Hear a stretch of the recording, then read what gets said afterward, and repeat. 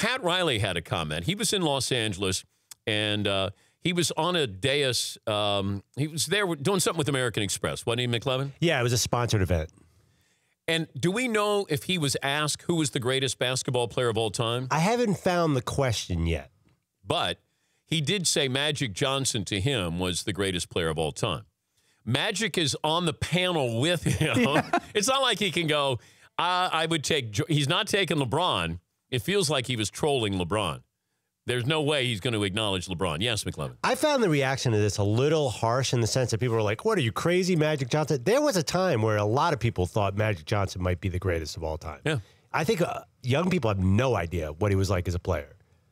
But if you also go back to when he he had to leave the NBA, he played on the Dream Team. He came back in the All Star game and was the MVP.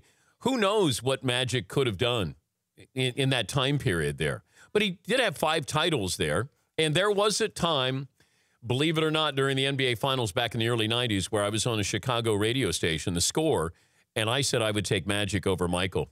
And they thought that I, you know, what I said was blasphemous. And I said, I, I look, Magic to me is, is somebody unique. I know Michael is awesome. He's great. You can, you know, best player of all time, yes. But Magic played all five positions and won an NBA championship when they didn't have Kareem. I mean, I Michael couldn't do that. You know, there are things obviously that my, uh, Mike did that Magic couldn't. But I there was a time when I, there was a debate there. Yeah, Paul. Uh, Pat Riley went on to say LeBron, LeBron is the closest thing to Earvin that we've ever seen because of his size, his speed, acceleration, vision going up and down the court. And he also says that there's a misinterpretation mis, uh, of uh, Magic's career that he couldn't score.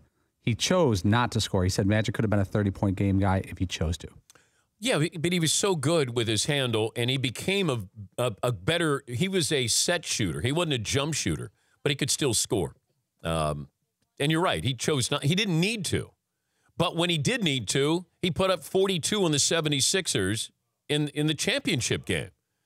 Um, yes, that was so brutal. That was so unfair because Kareem was hurt. The 76ers yeah. were finally going to win a title.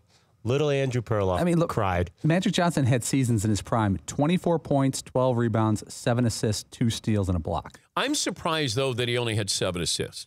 I'm sorry, uh, 12, 12 assists. Okay. And uh, 7 rebounds. Yeah. My bad. 24 points, 12 assists, 7 rebounds, 2 steals. Yeah.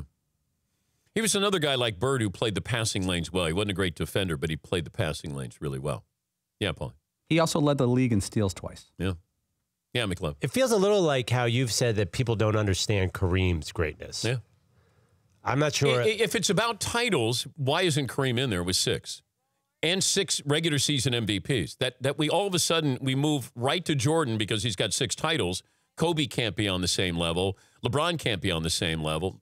Nobody can be on the same level. They don't have the same number of titles. Well, Kareem does. But we don't allow him into the club there.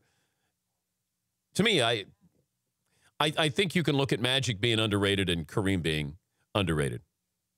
But a lot of that happens. It's just Jordan's legacy, aura, persona uh, is so big that it, it, you know we tended to forget how great some uh, players were. The Dan Patrick Show, weekday mornings on Audience.